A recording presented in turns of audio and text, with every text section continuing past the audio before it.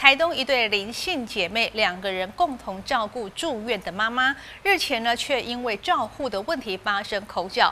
五十岁的姐姐一气之下呢，愤而离院出走。不过身上没有带钱，不仅露宿街头，还整整四天都没有吃东西。被民众发现路倒在变电箱旁边，报警处理，才让这个林姓女子顺利和家人团圆。你有地方住吗？没有，没有哦。那你最近都住哪里？吵架。瘫坐在变电箱旁的女子光着脚，神情相当憔悴。在警方不停询问下，才得知五十岁的林姓女子是和家人吵架后负气离院出走，就这样在街头流浪整整四天都没有进食。